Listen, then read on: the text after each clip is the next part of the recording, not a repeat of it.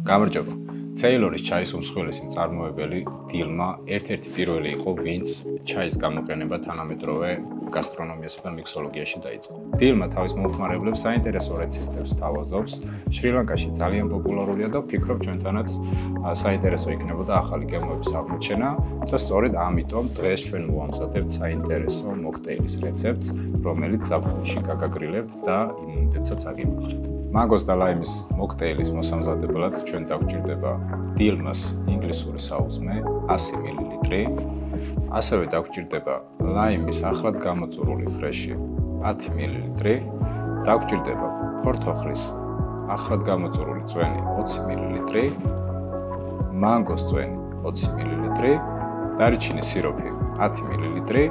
და ასევე დაგვჭირდება პიტნა მეტი სიმწვანისთვის და მეტი არომატისთვის, რომელსაც გამოვიყენებთ გასაფორმებლად.